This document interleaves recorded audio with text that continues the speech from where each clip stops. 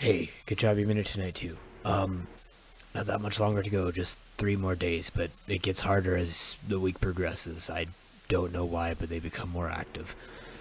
In the back room where you reset stuff, um, I'm sure you saw him, but the orange, the big orange cat in there, he he moves.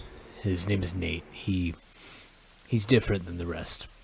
If you see him in your window, close both the window and the door. Otherwise, he'll he'll get in.